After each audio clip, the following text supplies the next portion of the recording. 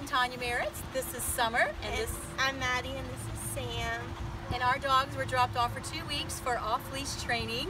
And we were nervous at first because that's a long time to be away from home. However, every day we get a great report card and lots of pictures that made us feel like our pets were with us every day.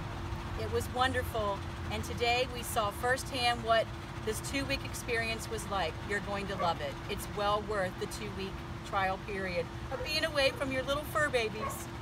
And the photos were the best. They were like professional. It was great. Thank you so much, Off Leash. You're the best. you.